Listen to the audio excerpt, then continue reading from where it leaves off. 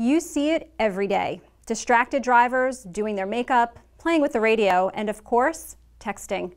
Texting and driving kills. It's one of the reasons the number of highway fatalities have increased over the last year. Sending a text takes your mental focus away and can lead to serious injury or death.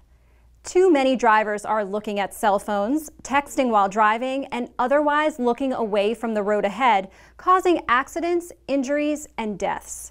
Distracted driving is dangerous, says attorney Barry Kantrowitz.